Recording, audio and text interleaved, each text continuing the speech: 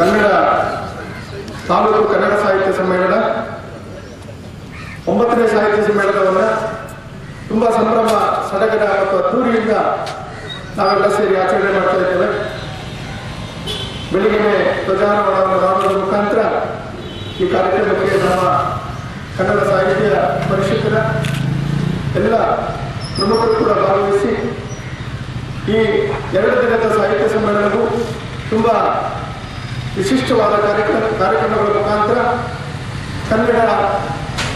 ನೆಲ ಜಲ ಸಂಪನ್ಮೂಲವನ್ನು ಬಳಸಿ ಬದುಕುವವರೆಲ್ಲರೂ ಕೂಡ ಕನ್ನಡ ಧ್ವಜದ ವಂದನೆಯನ್ನು ಮಾಡಬೇಕು. ಕನ್ನಡವನ್ನು ಪ್ರೀತಿಸಿ ಗೌರವಿಸಬೇಕು ಅನ್ನುವಂಥ ಸಂದೇಶವನ್ನು ನಾವು ಇದರ ಮುಖಾಂತರ ಕೊಡುವ ಮುಖಾಂತರ ಕನ್ನಡದ ಮಣ್ಣನ್ನು, ಕನ್ನಡದ ನೀರನ್ನು ಕನ್ನಡಿಗರಿಗೆ ಉಳಿಸುವಂಥ ಹೋರಾಟಗಳಲ್ಲಿ ನಾವು ಕೂಡ ಭಾಗಿಯಾಗಬೇಕು ಅಂತ ಈ ಸಂದರ್ಭದಲ್ಲಿ ಕರೆ ಕೊಡುತ್ತಾ ಈ ಕಾರ್ಯಕ್ರಮದ ಅಲ್ಲಿ ಭಾಗವಹಿಸಿ, ಕಾರ್ಯಕ್ರಮವನ್ನ ನಾಯಕತ್ವವನ್ನು ವಹಿಸಿಕೊಂಡು ತುಂಬಾ ಜವಾಬ್ದಾರಿಯಿಂದ ಕೆಲಸ ಮಾಡ್ತಿರುವ ಸಂತೋಷ್ ಕುಮಾರ್ ಅವರು ಮತ್ತು ಅವರ ಸ್ನೇಹಿತರಿಗೂ ಹಾಗೂ ಈ ಕಾರ್ಯಕ್ರಮಕ್ಕೆ ಆಗಮಿಸಿರುವಂತಹ ನಮ್ಮ ತಹಸೀಲ್ದಾರ್ ಮತ್ತು ನಮ್ಮ ಸರ್ಕಾರಿ ಇಲಾಖೆಯ ಎಲ್ಲ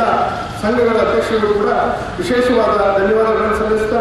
ಎಲ್ಲ ಸಂಘ ಸಂಸ್ಥೆಗಳು ಕೂಡ, ಅದರ ಪದಾಧಿಕಾರಿಗಳು ಕೂಡ ಈ ಕಾರ್ಯಕ್ರಮದಲ್ಲಿ ಬಂದ ಬಂದಿದ್ದಾರೆ. ಎಲ್ಲರಿಗೂ ಕೂಡ ಧನ್ಯವಾದಗಳನ್ನು ಅರ್ಪಿಸಿ ಈ ಕಾರ್ಯಕ್ರಮದ ಎರಡು ದಿನಗಳ ನಿರಂತರವಾಗಿ ನಾವೆಲ್ಲರೂ ಕೂಡ ಇಲ್ಲೇ ಇದ್ದು ಕಾರ್ಯಕ್ರಮದ ಯಶಸ್ಸಿಗೆ ಪ್ರಯತ್ನ ಮಾಡಬೇಕು ಅಂತ ಈ ಸಂದರ್ಭದಲ್ಲಿ ತಮಗೆಲ್ಲ ಕೇಳ್ಕೊಳ್ತಾ ಶುಭವನ್ನು